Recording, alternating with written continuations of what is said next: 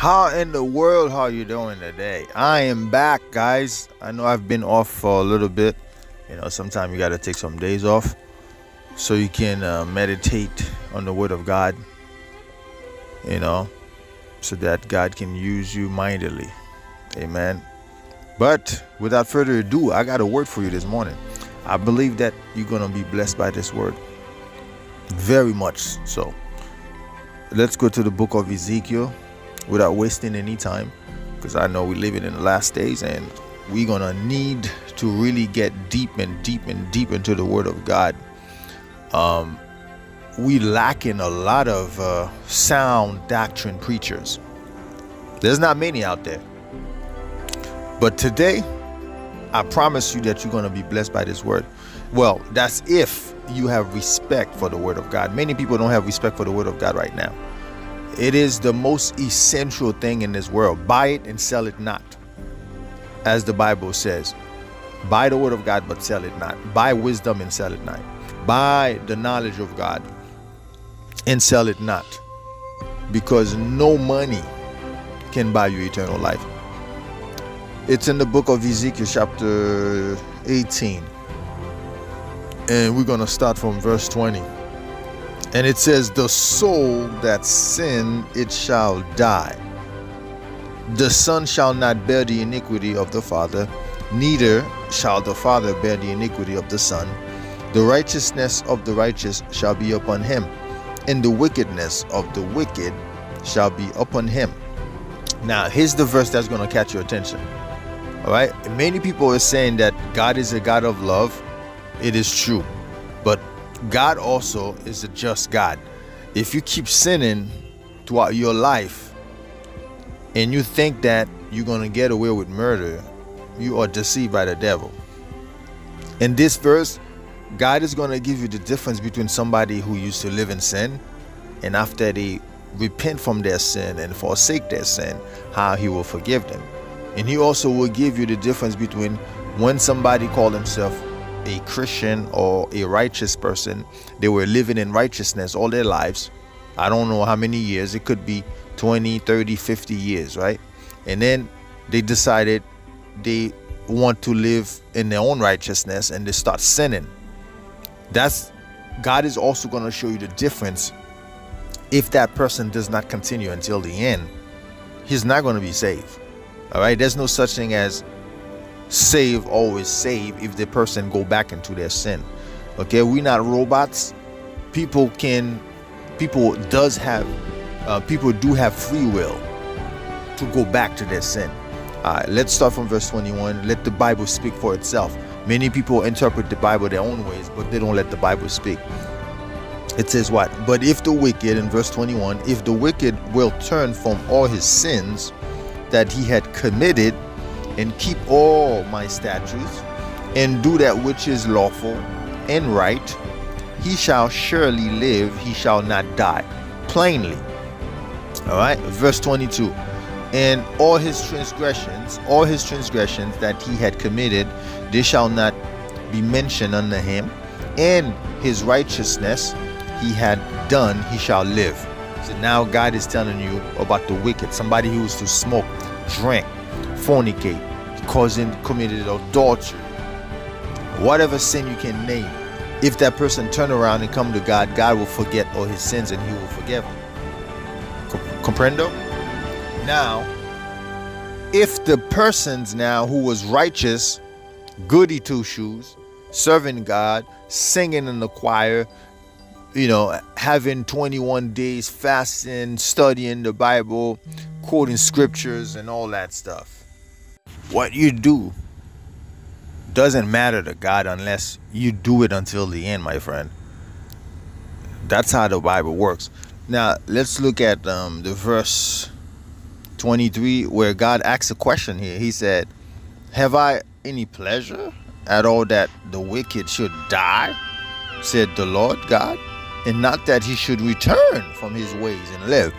You see that that's what God wants for the homosexuals, the LGBT, the lesbianism, the the transgenders and the drag queens. That's what he wants for all of us to turn from our sins.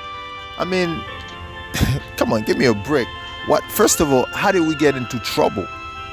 How did the world get into sin? It started from the beginning when Adam and Eve sinned against God. Now we live in these days where these preachers don't even touch the subject of sin. Sad, but it's true. I mean, why would you call yourself a man of God if you don't preach the word of God? Why would you call yourself a man of God if you don't agree with the word of God? I mean, for, give me a break. Why do you even carry a Bible in your hand? Why do you even carry the word of God? When the prophets used to go to, to the children, when the prophets used to go to the to um to God's people, what do you think he was preaching to them? They were preaching the word of God. If you call yourself a man of God, you should preach the, the word of God, not to uh, sugarcoat the message and preaching um, uh, um, sugary messages to the people. You need to tell them what thus said the Lord. The word of God speaks plainly against sin, my friend, against sodomy. God let fire and brimstone come down from heaven to burn Sodom and Gomorrah exactly because people were going against strange flesh. He said, even the angels that sin against God, He did not let them escape for free. Now they are in, in hell right now, bound and chained, waiting for the day of judgment. He did not spare these angels. You think he will spare the people in our days? There's a lot of people going to hell, my friend. And the thing is, people think that just because there are so many billions of people on the earth, all right, living, they think that hell cannot receive all those people. The Bible says that hell has no measure, my friend. Hell enlarges itself to receive the people at their coming, my friend. People don't read the Bible. I don't know what kind of Bible they're reading. They must be deceived by the. So let's go back to uh, Ezekiel chapter uh, 18 to finish the rest. Verse 24 says what? But when the righteous turn away from his righteousness. See what I'm saying? So the righteous can be living righteous. It doesn't matter if he's in the Old Testament. It doesn't matter. A righteous person is a righteous person in front of God. That means that person keeps the law of God, keeps the word of God, keeps the ways of God. But when the righteous turn away, that means he turned away from righteousness. Now he's going back to wickedness. He backslide. I don't care if you tell me you were saved 10 years ago or 50 years ago, it don't matter. You turn back from to, to go back. You turn away from God. Now you're going back to sin. He said, But when the righteous turn away from his righteousness and committed iniquity, and doeth according to all the abomination that the wicked man doeth. What is abomination? Fornication is abomination in front of God. Witchcraft, warlock, sorcery, murder, um, homosexuality. is are abomination before God. So now they start living their life like the wicked. What do you think you're going to get? All his righteousness, the Lord said, that he had done shall not be mentioned. It don't matter if you burn yourself for the poor, if you give to the poor. That's the reason why all these celebrities that's given to the poor, it don't matter because they're living unrighteous life. They're living not just before the Lord, here they go doing all these abomination, right?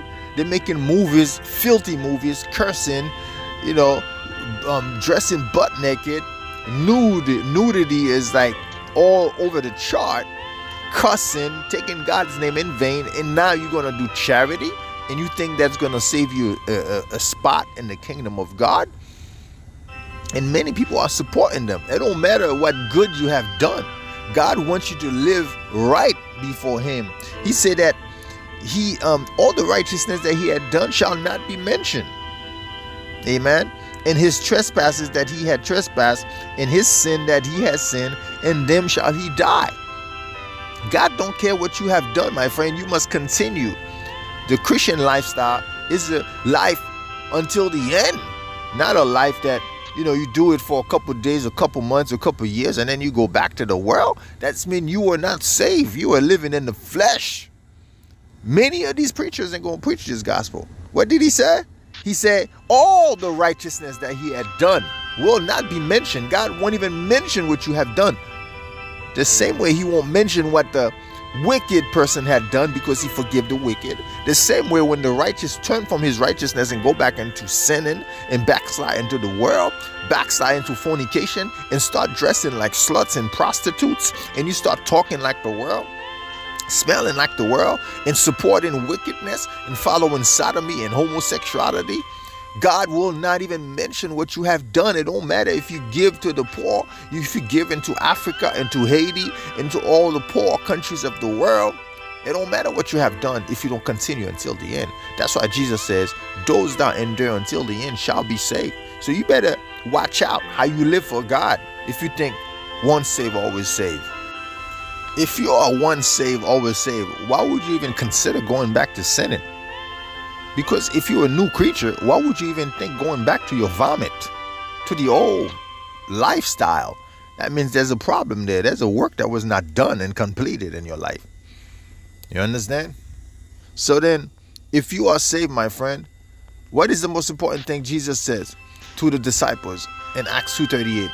Paul said, "Repent." Repent of what? Repent of your sin. If you repent, you got you have godly sorrow against your sin, against the wrong that you've done against people. And be baptized in the name of Jesus Christ, and you continue in the in the doctrines of the apostles. You don't go back to sin. You don't go back to misery. In fact, the Bible says that we are not those that draw back into perdition, but we believe in, in the saving of the soul. You know, after you taste the goodness of God, you want you want to go back to the devil? The devil that hates you, that wants you bring you to hell with him so you can burn in eternal fire? My friend, if you're listening to this message right now, stop living a, a lukewarm Christian life. You need to really give your life to the Lord Jesus Christ. Or if you die in your sin, you're going to hell. I don't care how much you say you are saved. I don't care how much liberal you are. I don't care how many times you've been in church you better work out your salvation until the end with fear and trembling before the Lord. That's your only hope to make it. Do not be deceived, the Bible says. And if you're in your sin right now, repent and get baptized in the name of Jesus Christ. Not in the name of the Father, the Son, of the Holy Ghost, but in the name of Jesus Christ. See, Father, Son, and Holy Ghost are titles. They are just titles. You need to get baptized in the name of Jesus Christ. That's the only name that make demons trembles and principalities trembles. That's the name that was given into heaven that is above every name. May God bless you. May God keep you. Live a righteous life unto the end because the Lord Jesus Christ is coming back. God bless you. Subscribes if you want to. If you don't want to, don't. God bless.